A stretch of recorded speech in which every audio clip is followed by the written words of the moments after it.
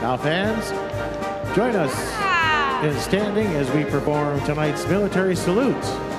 Tonight we honor Captain Glen Gaison of Mililani, Hawaii. A veteran of the U.S. Army, Captain Gaison has served in our nation's military for over 20 years, including tours to South Korea, Hawaii, Central America, and the Middle East.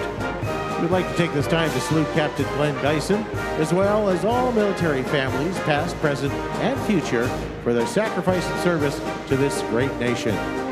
And we thank Sports Clips for their sponsorship of our military salute.